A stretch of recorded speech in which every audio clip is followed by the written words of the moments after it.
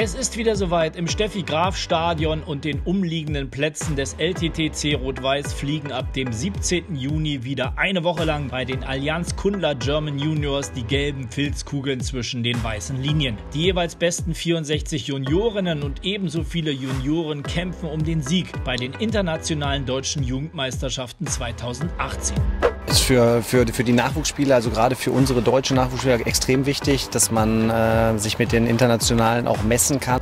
Berlin gehört zur Elite der weltweiten Jugendturniere, die in ihrer Bedeutung gleich nach den Junioren Grand Slams rangieren. 2017 gab es endlich mal wieder einen deutschen Sieger, den einheimischen Rudi Molliker vom LTTC Rot-Weiß, den ersten seit 2003. Indessen mischt er kräftig bei den Herren mit, gewann kürzlich ein gut besetztes ATP Challenger Turnier in Heilbronn.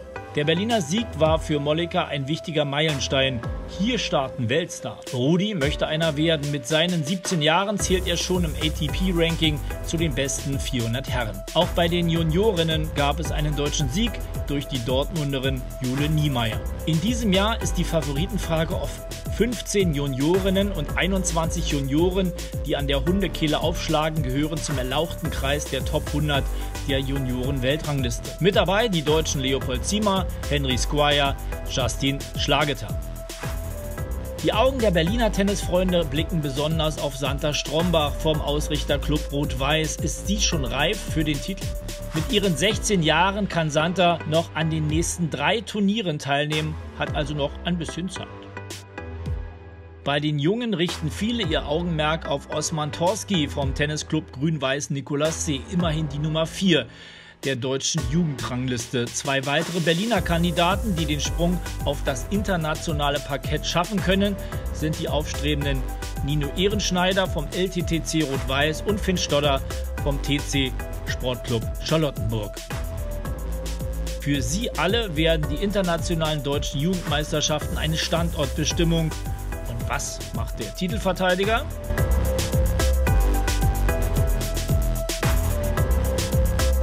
Gerade hier in Stuttgart ähm, beim Mercedes Cup und ähm, bereite mich ein wenig auf Rasen vor. Ähm, ich muss meine diesjährige Teilnahme bei den Allianz Kundler German Juniors leider absagen. Ähm, wünsche euch allen trotzdem sehr viel Glück und ähm, hoffentlich kann ein deutscher Teilnehmer meinen Titel verteidigen und ja, viel Erfolg an euch alle und äh, bis dann. Ciao.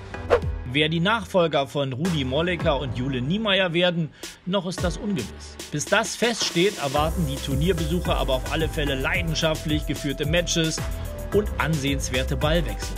Harte platzierte Aufschläge werden sich mit gefühlvollen Stops und langen Longline-Rallies abwechseln, die gespickt sind mit taktischer Raffinesse und Spielwitz.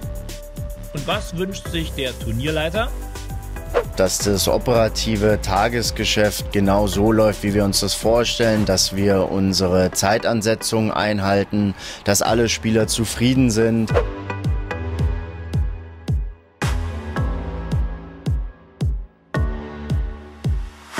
Mancher Name aus den Berliner Tagen wird uns später wieder begegnen.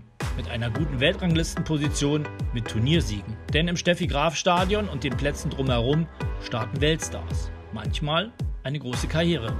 Und Sie können als Augenzeuge hautnah dabei sein.